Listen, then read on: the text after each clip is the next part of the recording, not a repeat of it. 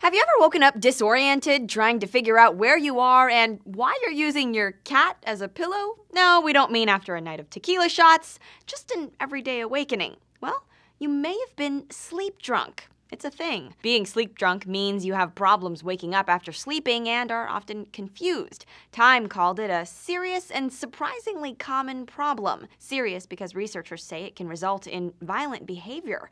Researchers interviewed more than 19,000 people, 18 and older, and found 15% had experienced sleep drunkenness within the last year. The study, published in the journal Neurology, sought to find out whether being sleep drunk or having confusional arousals, as it's also called, is due due to mental disorders and psychotropic medications. The study found 84% of confusional arousals, or sleep drunk episodes, were associated with either mental disorders or drugs. It also found too much or not enough sleep, bipolar, and panic disorders played a role as well. And while it sounds like a fairly serious condition, New York Magazine noted some of the researchers got some laughs after hearing people's stories from being sleep drunk. One man picked up his alarm clock and mistook it for his phone, holding a two minute conversation on it. And since this is a rather quirky story, you better believe outlets picked up on it too. For real though, how can you not cover a story on being sleep drunk? Media gold. When you wake up and you feel out of sorts, mm -hmm. well, you may be